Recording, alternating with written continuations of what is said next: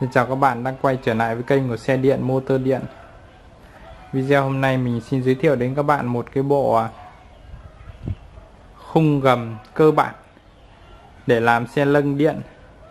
À, có tải trọng khoảng à, dưới 1 tấn rưỡi có tải trọng dưới 1,5 tấn. À, cái này mình có thể thay đổi công suất động cơ để phù hợp với từng tải trọng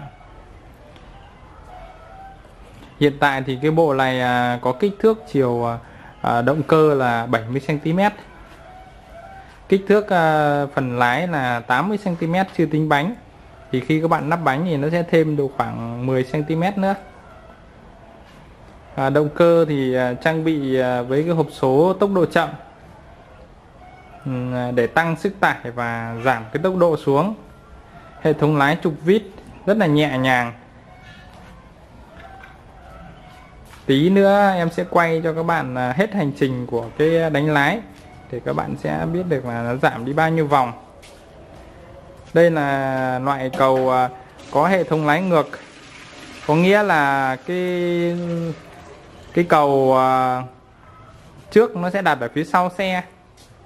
Còn dẫn động cầu trước thì lại ở phía đằng trước người ngồi.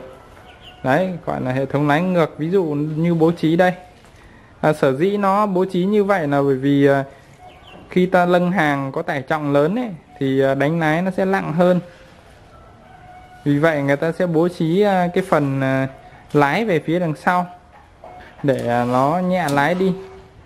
Và cái góc lái của nó sẽ rộng hơn so với đánh lái đằng trước rất là nhiều. À, ở bố trí trên à, những dòng xe lân thì người ta đều làm như thế tất nhiên cũng với cái bộ này các bạn có thể à, à, lái thuận cũng được không vấn đề gì cả. À, cả hai cái à, bộ cầu trước cầu sau này đều không sử dụng nhíp. Nó à, có cái hệ thống bập bênh để à, các cái bánh tiếp xúc với mặt đường. Đây chính là cái phần cầu trước này. Cái này là nắp lên khung xe này khi các bạn à, bốn bánh không thăng bằng ấy thì à, cái cầu trước nó sẽ cao thấp một bên lên, một bên xuống để đảm bảo cho bốn bánh luôn tiếp xúc với mặt đất. Đây chính là cái hệ thống bập bênh của cái cầu trước này. Đó.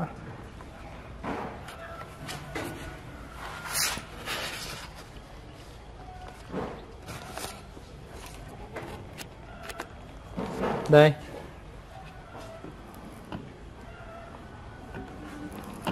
Cái này nó làm bạc rất là lớn.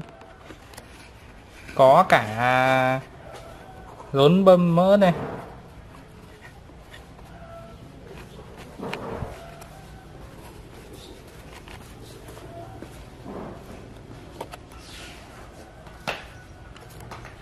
Đây, cái vòng bạc đây. Đấy. Các cái ổ trục của nó đây. Rất là lớn nhé cho tải trọng rất là cao.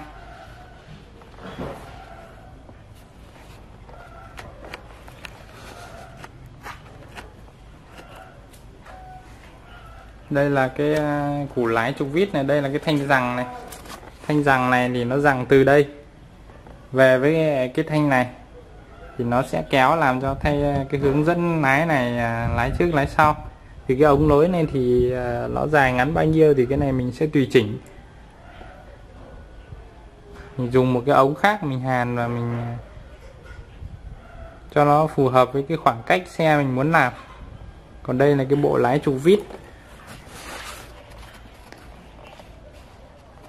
Cái lái nó rất là nhẹ thôi.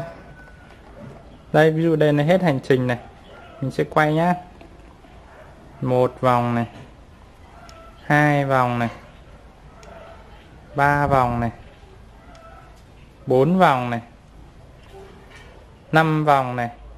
Độ khoảng 5 vòng thì hết hành trình từ đường trước về đằng sau. Đấy, nó giảm đi 5 lần cho nên là nó lái nó rất là nhẹ. Thì các bạn yên tâm, không cần phải à, dùng hệ thống lái trợ lực hay là hệ thống lái thủy lực gì đều lái được hết. Cầu thì à, trang bị này là cầu phanh cơ tăm bua này là tăm bua 200 5 ốc động cơ này là động cơ trang bị 1000W này. Đấy.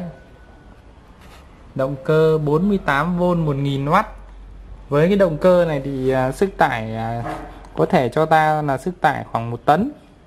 Còn à, các bạn muốn à, sức tải nâng cao hơn nữa thì mình có thể thay bằng động cơ 2200W đều được. Các bạn thích động cơ chổi than hoặc động cơ ba pha bên mình đều có có thể thay thế cho các bạn.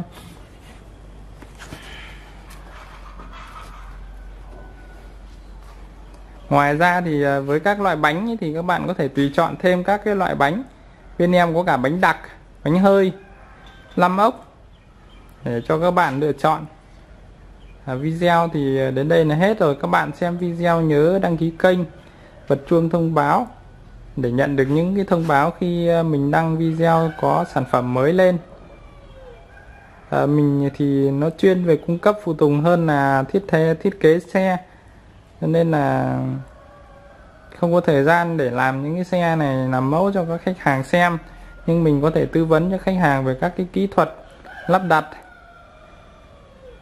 Cảm ơn các bạn đã xem video và ủng hộ.